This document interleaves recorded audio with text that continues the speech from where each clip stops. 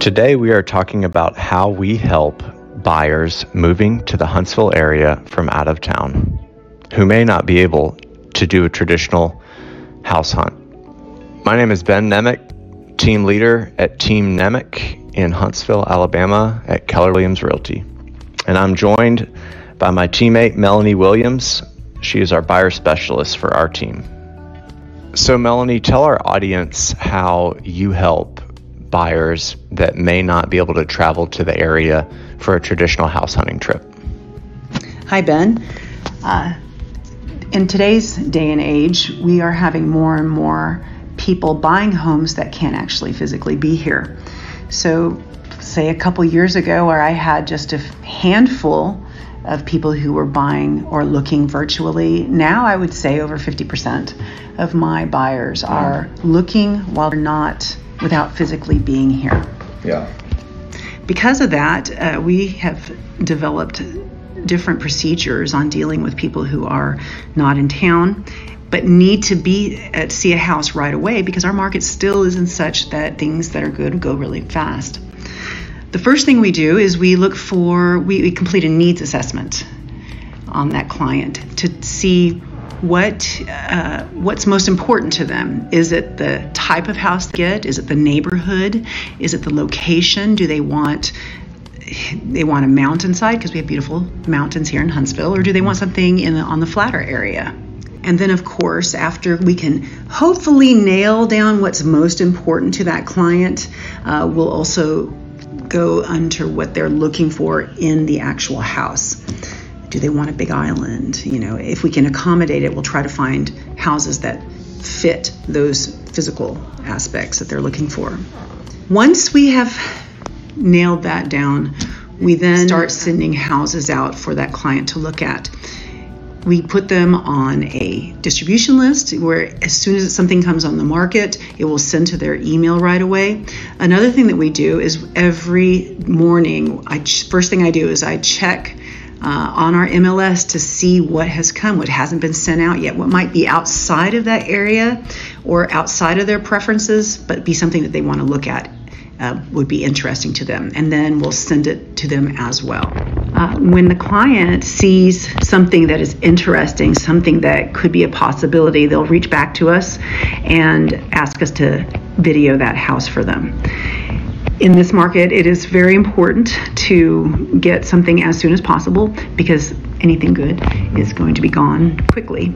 Yeah. Uh, and so uh, we try to get an appointment right away, and then we will go out and video the home. We'll video the inside of the house and the outside of the house. Uh, we try to get all the room layouts so that you can kind of, we go through the house the way you would go through the house when you're looking at it and um, and we try to look at the details to see you know like what kind of countertops uh, what kind of flooring is it a ceiling a smooth or is it you know a textured ceiling? And you know try to go through all of those things so that you can see it visually and get an idea and a feeling and a flow of the house. But of course there are always going to be aspects of being in a home that you're not going to be able to pass through on video some of those things would be um, like the smell of the home, or maybe if the low ceilings make it feel cave like, or you know, it, and it just doesn't transfer that well in the video.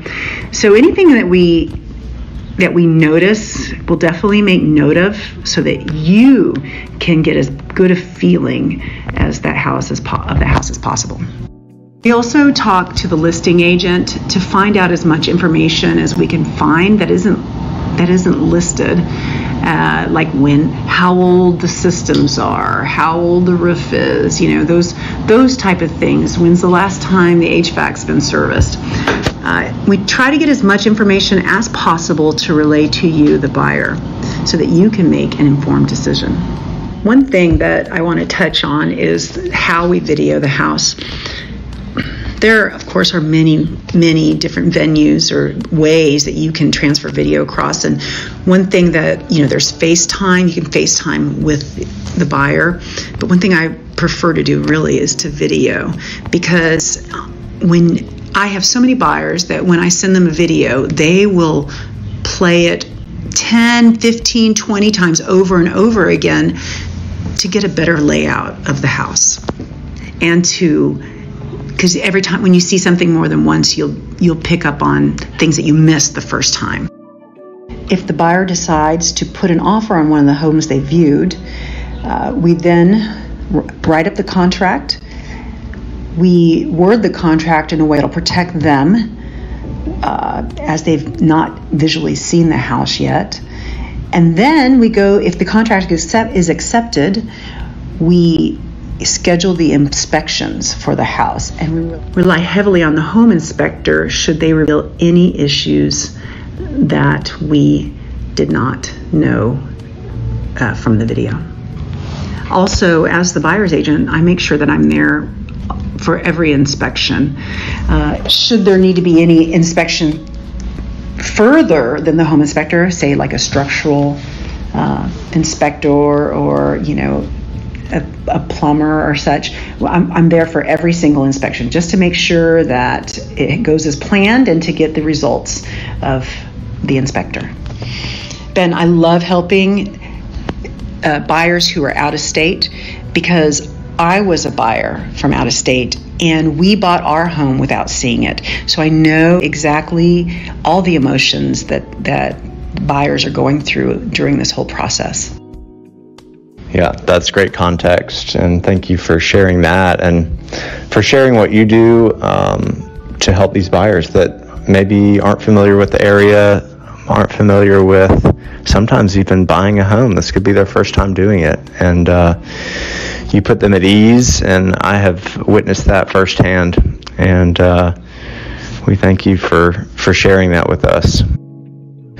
If you are a buyer looking in the North Alabama area for real estate, please look in the comments and visit our website.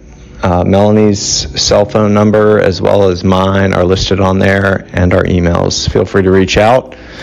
If you have not already liked and subscribed to our channel on YouTube, please do so. That helps us uh, reach more people like you. And uh, we thank you for following us, and we look forward to speaking with you soon.